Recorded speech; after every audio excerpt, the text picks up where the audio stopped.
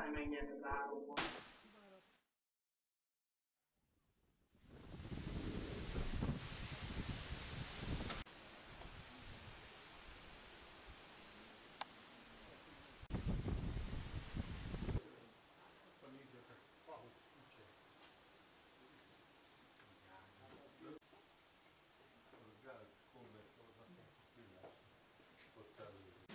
Jaj, de.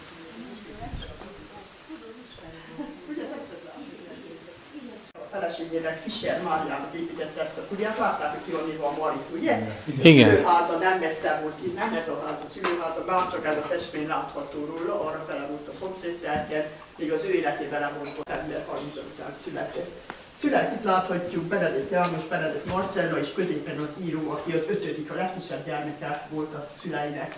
Tanulmányok itt kezdtek is Baconban, és az első három osztály befejezése után Székelyudvarhelyen folytatta a mai Benedek tanítóképzőben, ahol barátjával, Sebesi Jobbal összegyűjtötték a székely népességet, népmondákat, és a Székely Népköltési Gyűjtemény harmadik kötetével megy fel Budapestre, az akkori kritikushoz Gyulai.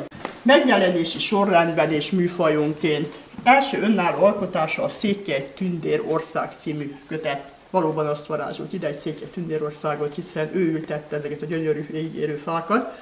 Visszavásárolta azt a földterületet, amit a szülei eladtak az ő tanítatására, Szanikó regénye, Zsuzsika könyve címmel, fiú regényei, a két gazdag ifjú története, félkelvű óriás, szigeti veszedelem, édes kicsi gazdám, honszerző Árpád és a Miklós prozai változata, elbeszélés köteteket látható galambok, csöndes órán ücsfakadás címmel, verseit, a Kisbaconi verseny című kötetben olvashatjuk. A honoráriumából kezdte a házat építeni, ami aztán 1896-ra épült fel.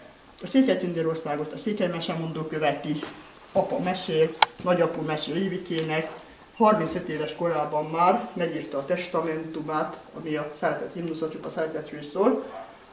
Benedek Marcelhez a legnagyobb fiához, akiből író lett irodalomtörténész, többek között azt írja, hogy ha emberek közt élsz, vedd ki a magad részét minden igaz, becsületes, jogos küzdelemből, állj a védtelenek, a gyengék közé. A verses ABC-t írt Műbe Károly eredeti rajzaival, színdarabot több sincs királyfi falusi bohémek címmel, és újabb kiadásait láthatjuk a Magyar Mese és Mondavilágnak, Édesanyaföldemnek, válogatást Benedekelek műveiből, ami műfai sokszínűségét mutatja, és a publicisztikáját, a száz esztendős jövendőből és a Halljátok emberek című kötetekben olvashatjuk. Saját vallomása szerint azért kellett hazajönnöm, hogy visszaadhassam bár egy részecskét annak, amit az édesanyafőtől kaptam.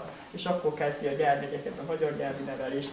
A Cimbora című gyermeklap szerkesztésével Kisbacommal szerkeszti a cimborát, és Szatmáron van a nyomda. Hát nem volt könnyű, de annál eredményesebb, hiszen a gyermekekkel egy nagyon közvetlen kapcsolatot alakított ki. És ugyancsak a gyermekeihez írja a szálló igévé vált sorokat is, hogy csak az a valamennyire egész ember, akinek könnyű a toll és nem nehéz a kasza, és itt aztán elemzi azt, hogy az általános műveltséget akkor is meg kell szerezniük, hogyha a fizikai munkát választják életi pályájára, hiszen munkahely minden hangos ember közt.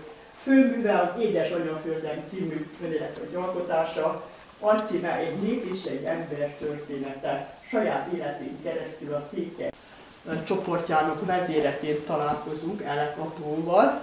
Szembe vele Szent Imre Jenő fiatal író hozzáírta az utolsó levelét, Tamási Áront láthatjuk, Szabó Géza zongoraművész, középen Szent Imreiné, György Dénes szavalóművész és Bartacs János költő, tehát ők alkották a székely trupot, és bejár is Baconba, mindig az öreg szülők ültek az asztalt főzni, tehát nagyon szeretve tisztelte a szüleik.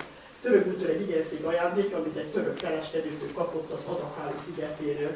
Szeretett mellette kávézni, azért a kávés. Tehát így kell elképzelni, hogy a nagy ebédő középen az asztal kihúzva, és nagyon sok olyan szép, ami a török úton mellett van, újabb darab a csidár, amit már felelő festménye a házról, az egy nagyon kedves oldalági rokonunknak, Benedek Bélának a festménye, Pilis Csabai, az aranyos gyeresiek készítették a székely kaput, és a dolgozó szoba is úgy van berendezve, a idejében volt.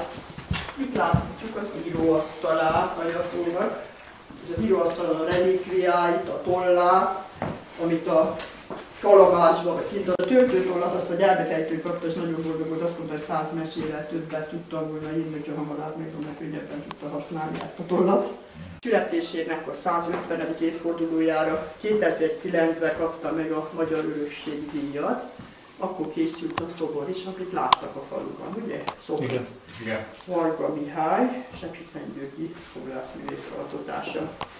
Írás is, ez egy nagyon jó sikerű festmény, amit Karvaj Mór Budapesti testművész készített. A saroktékát az édesanyja bútoraiból kapta, és mindig ott tartotta, mellette a sétapát. Ideig a saját költségei adja ki a lapot, és aztán a halálát is a cimborának a megszűnése okozta. Nagyon sok nyelvre lefordították a műveit, a műfordításokat láthatjuk angol, francia, német, orosz, szerb, iglu, finn, esperanto és román nyelvre. Cimbora unokának, Jézus tanítványa voltam, gyermekekhez lehajoltam, a szívemhez felemeltem, szeretetre így neveltem. A feleségének a rútkönyvében van az ismert idézet, ahová te még oda megyek. A szülők sírja mellett vannak eltemetve itt a Kisbaconi temetőben, és a szüleinek nagyon szép sírfeliratot írt, ami jót nem esett könyveimben láttok, e két öreg ember szívéből eredett. Ha majd kihull a toll reszkető kezemből, e két öreg ember mellé temessetek, és ide is temették a kisbacon temetőbe, belőle Fehéregyházán. Itt az extribüszét láthatjuk, ugye a Gámos készített könyveiben így néz ki, a kert különböző évszakokban elkapó egyik lánya, Benedek Flóra, aki haláláig 1970-ig élt a házban és ő is augusztus 16-a, nagyon szomorúnak, amikor elkapó kora reggel fel kell is kimegy kaszálni. Kasszál 11 óráig, és amikor bejön az első dolga, hogy levelet írjon, Szent Jenőnek a fiatal írónak, aki ül szembe vele. A levélnek nagyon szomorú a tartalma, központi témája cimbora.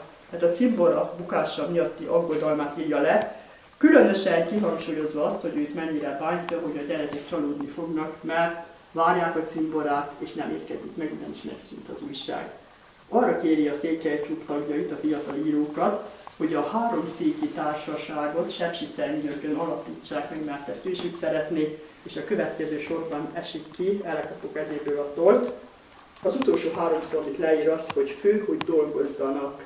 Tehát ő a fiatal írókhoz, a székely írókhoz írta ezt a ma már mindannyiunkhoz szóló végső üzenetet, hiszen három nap múlva több mint 5000 ember kísérte a feleségével itt a Kisbaconi temetőbe, akivel ők már nagyon rég megfogadták azt, hogy soha nem hagyják el egymást, és nagynyókkal éppen a virágos kertből jött be, felnézett nagyapóhoz, látta, hogy rosszul van, kiment és bevette mindig tartogatott nagyobb adag altatóját, Veronát vedve. Egyszer temették őket, 1929. augusztus 19-én el képzelni, hogy milyen hatalmas vagy szomorú lehullott a mi fejünknek koronája.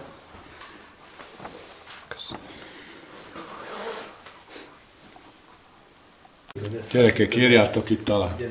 Nekem elviszem, nekem nincsen.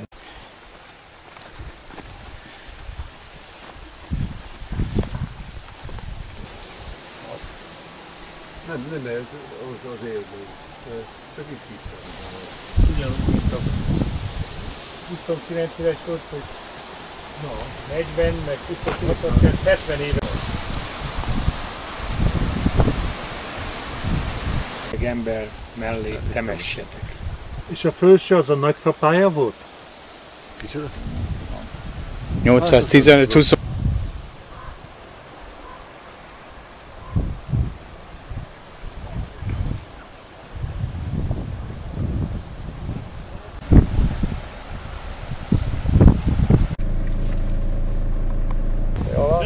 Szeressük egymást, gyerekek!